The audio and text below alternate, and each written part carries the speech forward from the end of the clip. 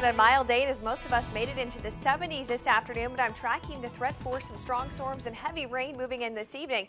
Severe thunderstorm watches in place already out to our west across much of Kansas and northwest Missouri. Eventually, that line of storms will start working its way into mid-Missouri overnight. Our severe weather threat's going to lower a little bit as these storms start to move into mid-Missouri, but we can't rule out a couple storms that bring 40 to 50 mile per hour winds and some heavy rain, especially going into the morning. We're going to stay mild too as this warm front lifts north of us. We're going to stay right around 60 degrees even with that rain moving in. And you'll see out to the west already starting to see some development across parts of eastern Kansas. That line is going to continue filling in and moving into mid-Missouri into late tonight. Here's 11 o'clock.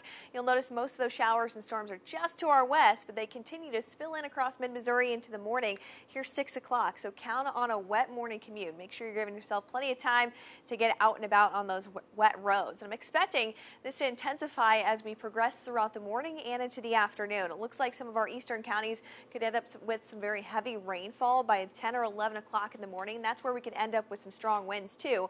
The higher severe weather risk is going to be just to our east tomorrow afternoon. We'll keep close eye, but it looks like our threat will really diminish once we get past the lunch lunch hour. Temperatures will start dropping down to about 50 degrees by late afternoon. We'll be in for a chilly night too as strong winds continue. Falling down to the 30s to start off Thursday.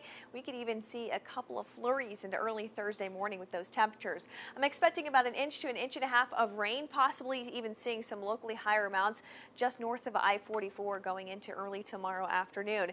For the weekend though, we'll be tracking some drier weather, especially as we head towards Sunday. Possibly seeing some showers through about noon on Saturday, but we're still making it up to about 60 degrees. Nicer end to the weekend. I'm expecting highs to get up into the low to mid 60s on Sunday.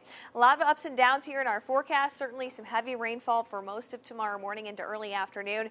Once our front passes through, temperatures will be dropping down to about 45 degrees for a high on Thursday, so count on needing a jacket.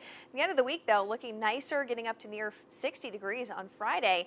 A little bit of rain moving in early in the weekend, then we'll clear that out with 60s on the way starting on Sunday.